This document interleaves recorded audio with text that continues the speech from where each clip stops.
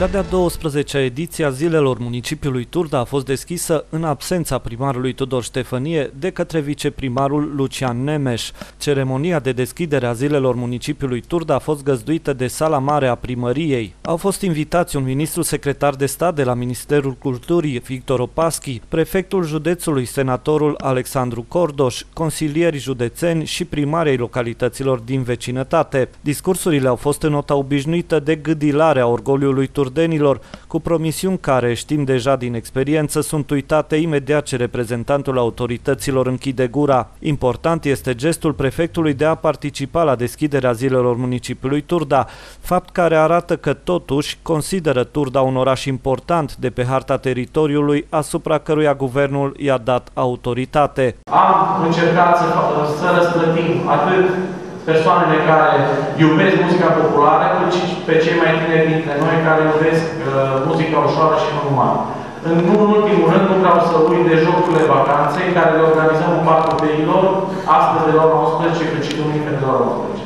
Eu vreau să vă mulțumesc tuturor. Sunt extrem de onorat de invitația dumneavoastră de a participa la cea de-a 12-a ediție a Zilelor Municipiului Turda. Mă simt onorat pentru că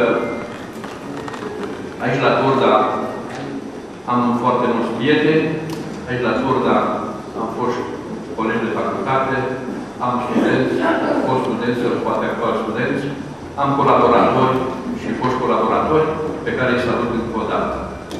Este un moment în care se, se aduc aminte momentele importante din istoria urbei, se face o atât de necesară apropiere între generații și se discută despre viitor. Pentru oricine, istoria Turdei este una impresionantă. După ceremonia de deschidere, toată lumea s-a deplasat la expoziția florală, care a devenit tradițională de zilele municipiului Turda, găzduită în acest an de liceul teoretic Liviu Rebreanu, nu de Colegiul Național Mihai Viteazu. Expoziția de aranjamente florale Expo Flora 2012 și-a deschis porțile vineri de la ora 12 în prezența autorităților locale și județene, iar apoi a vizitatorilor. Panglica inaugurală a fost tăiată de viceprimarul Lucian Neme și prefectul județului Cluj, Gheorghe Ioan Vușcan. La ediția din acest an au participat 35 de firme, mai puține decât la edițiile anterioare. De altfel și locația a fost mai puțin generoasă, lipsa luminii naturale intense de pe coridoarele CNMV, făcându-se remarcată atunci când a fost vorba ca aranjamentele florale să fie puse în evidență pe măsura muncii horticultorilor participanți. Vedetele primei zile au fost Cerebel, Connector și Andreea Bănică, din concertele cărora vă oferim câte un fragment.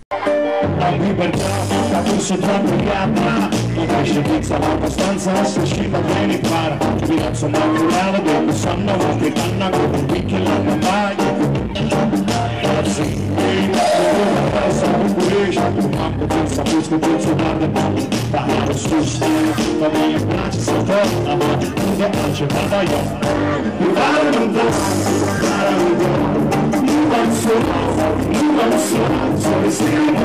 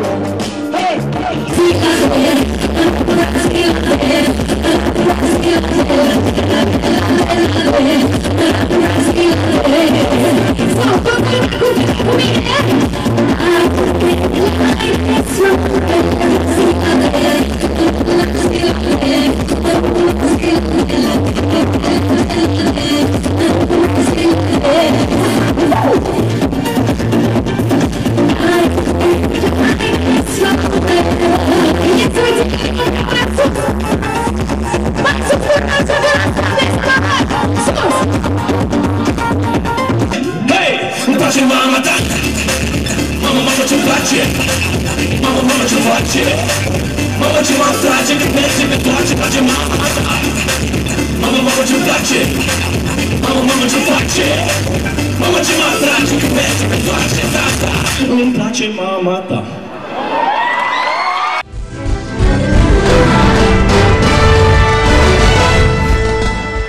Sala Mare a Primăriei Turdene a găzduit miercuri 29 august audierea publică în legătură cu alocarea fondurilor nerambursabile pentru ONG-uri în baza legii 350 din 2005. Au fost invitate la această dezbatere atât ONG-urile prin reprezentanții lor, cât și alte categorii de persoane interesate. Comisia de inițiere formată din juriștii Stelia Mărginean și Gabriela Mocan de la Asociația Pacienților cu Afecțiuni Hepatice din România, filiala Cluj, Olimpio Onacă din partea Asociației Reuniunea patronilor și meseriașilor Turda și Dan Grigoriu de la Sindicatul Liber Potaisa 98. În cadrul audierii publice a existat și o comisie de experți independenți formată din doctorul Vasile Grumaz de la laboratoarele medicale a Media, Teodora Cristescu de la Societatea Comercială Houston SRL și directorul Cristian Matei, Societatea Dona Credo SRL. Asociația Pacienților cu Afecțiuni Hepatice din România, filiala Cluj, este o organizație non-guvernamentală, non-profit, care se ocupă de persoanele care poartă involuntar un virus tăcut și ucigaș, persoane care în cea mai mare parte au fost infectate de fostul sistem medical. Prin serviciile prestate, asociația contribuie la furnizarea pilonului social și chiar dacă beneficiarii acestor servicii nu reprezintă societatea în ansamblu, ci grupuri specifice aflate în nevoie, defavorizate de soartă.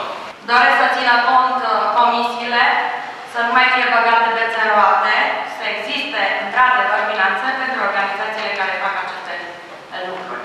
Uh, Ca reprezentant a Federației, suntem în uh, consiliile consultative la nivelul Ministerului Sănătății, pe legea sănătății, începând uh, din 2009, suntem consultați în permanență.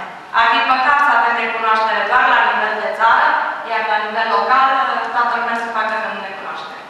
Eu consider că rolul unui ONG este, ca în primul rând, să implice societatea civilă în uh, activitățile pe care le desfășoară și în ceea ce privește finanțarea, uh, consider că, în principal, pentru proiectele mici, trebuie să reușească să-și asigure singure această finanțare din donații, În scopul efectuării unei analize referitoare la opiniile scrise și verbale ale celor interesați, APAHRO Cluj a lansat în dezbatere publică în cursul lunii august 2012 o dezbatere cu tema Are sau nu nevoie municipiul Turda de o procedură care să reglementeze atribuirea de finanțări nerambursabile de la bugetul local pentru activități non-profit. Data limită de depunere a depozițiilor scrise sau a opiniilor a fost 27 august 2012. Audierea s-a desfășurat sub directa îndrumare a Academiei de Lobby și Advocacy Timișoara. Unul dintre minusurile organizării audienței publice a fost ușoara politizare a evenimentului, la manifestare nefiind prezent niciun reprezentant al opoziției din Consiliul Local.